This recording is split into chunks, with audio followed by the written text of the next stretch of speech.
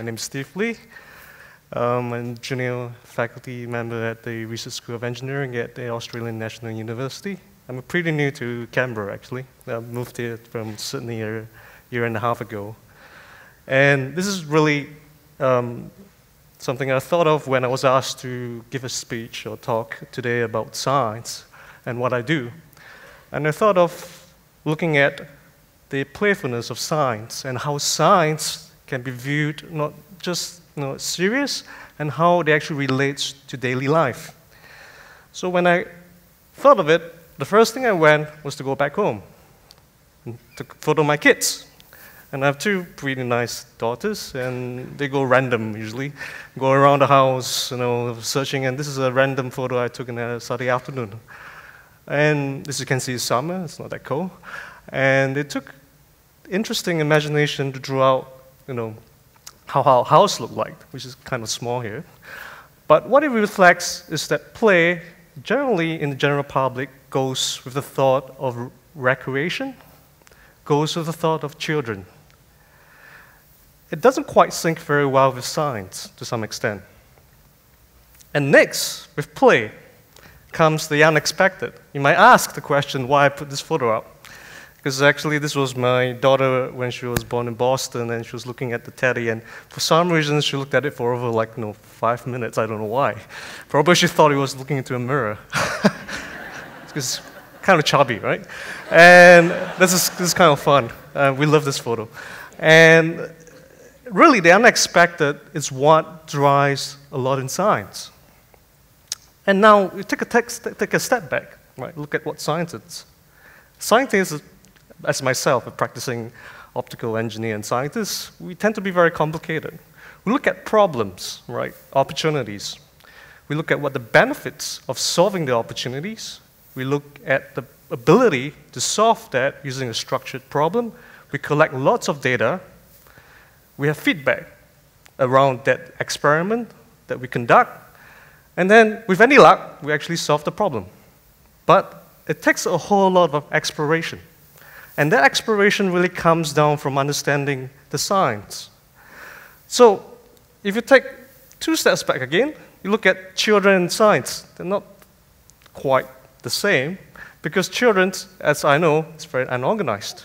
And, you know, it's, as a scientist, how can I actually make play in itself a scientific tool? That's the real question.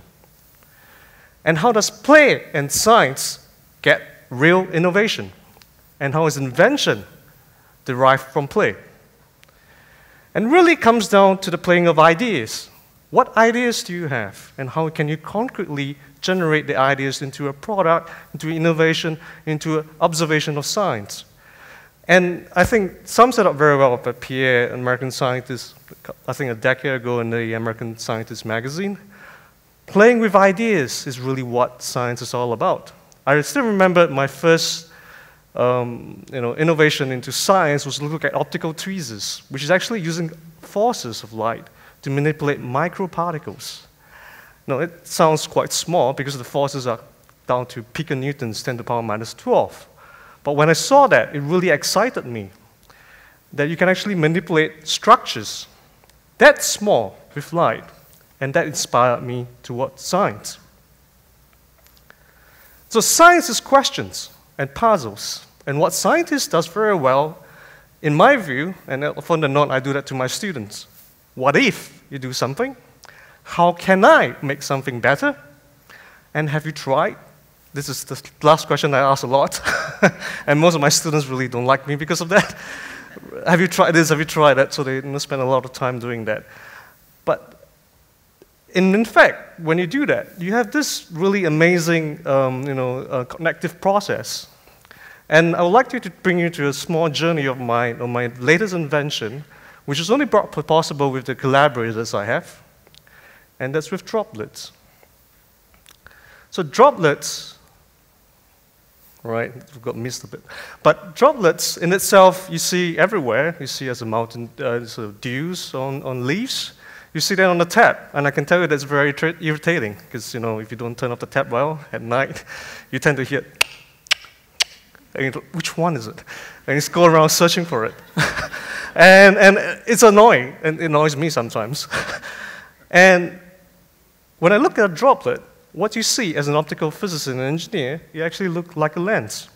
And what it does is that at that molecular interface, very small molecular forces are able to shape that drop into a three-dimensional structure. And over here, what you see is somebody's um, spit, actually, that's held up by two fingers. And what is amazing about this just very simple phenomena is it actually creates structures from 100 sort of nanometers up to a couple of microns and even millimeters. This is because of surface tension, because the molecular forces and the pressure within the fluid and the atmosphere collecting that. And when I saw this phenomenon of a droplet, I asked myself, could I make it to a lens? You might ask yourself, it's impossible because it's unstable. How can you harness something of a droplet? But the trick to forming that drop is really on viscosity. In other words, how long does it take to form the drop? And this is a movie I took when I first thought the idea. And it's going to run through. It took a long time. I actually took a camera, put a spot of transparent silicone oil, flip it around, allow gravity to actually pull it into a drop. I wanted to see how long it takes for the drop to reach that critical point and drops off. I call this drooping. you get it from kids anyway. Um, and in many sense, it took a long time. I'm not going to finish this video. But what it tells you is that this is the play I get. So I go in the lab, I see you know, how long it takes, and what can I do with that? What useful methodology I can come with that. And what I did next was like, hey, you know, it forms a nice drop, but because it takes a long time, it allows you to intervene at times and allow you to form gradual layers. And what you're seeing here is that a different time lapse photos of the drop, um, edge detection that I did. And what I did by just layering incrementally, you can actually create different curvatures. And in optics, in lenses, the critical point is actually to reach the right curvature, thereby changing the property of the lens. And I did this really over two months. I thought, you know, was it useful? And then I went to the lab and took one of the lenses out and stick it at the back of my phone. It's this one. I'm not no product placement, but uh, this lens, I stuck it at my phone, took a torchlight, literally, and project it. And this is one of the first images. If you see, there's a tiny image of a circle. And actually, that's one millimeter. You can't see that. And that's actually taken with a normal phone. But when you stuck the lens on it, at different focal lengths, uh, as I've seen different layering, what you start to see are micron structures. This is what is used to calibrate microscopes. And each division here is 10 microns blown up on your right. And that's quite fascinating. When I first saw it, it was just amazing. And what's more amazing is the fact that when we published the paper, it, it, went pretty international. And I took the joy of looking at, you know, we sort of looked at it. And there was this blog that I found, which is quite inspiring because I've, I've never met this person. And she was very innovative. And what she did was to take hair gel. And she took, uh, I think, a slice of Ferrero Rocher's transparent slide and dip just hair gel onto it, and then flip it around from the lens. And what you're seeing there is onion cells with his her phone, somewhere in the UK, I've never met. That's quite amazing as a scientist and an engineer to be able to create and find some methodology that people could use. This really inspired me to think about a way to reproduce this so that everyone can have one. Um, is Rachel here? Yeah? That's the student that really is responsible for the next video you're going to watch. And we're hopefully that you'll get to everyone's hands in the near future.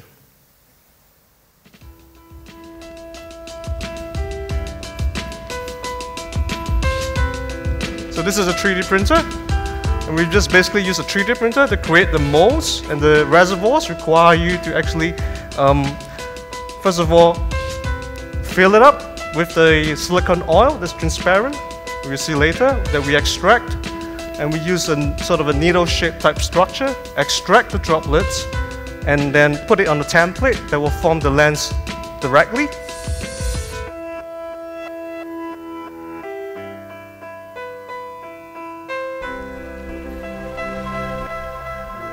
So this is where the silicone oil is actually poured into each individual reservoirs.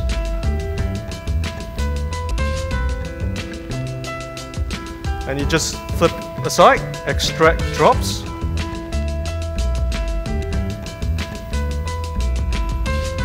And what you see here is the drop starts to form as it uh, falls off the edge of the needle onto a, just a two-dimensional hole.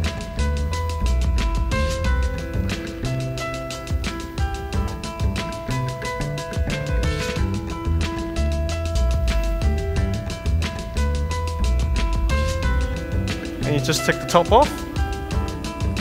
And in luck that this drop actually cures in 70 degrees oven that you can find almost everywhere in the home. So just natural curvature of gravity allows you to form that fine drop of lens. After 15 minutes, bring out just like a baking recipe. Take the lens off and stick it to the end of a phone. And that's Rachel's fault, not mine.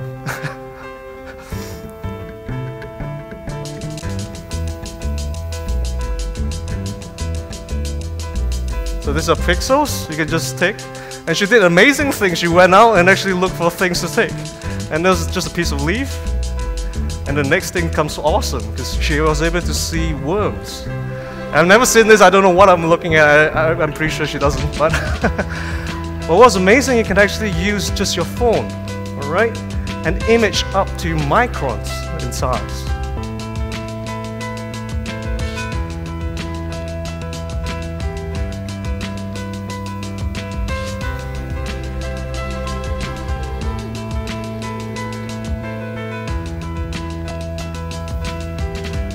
So I must thank Rachel a lot.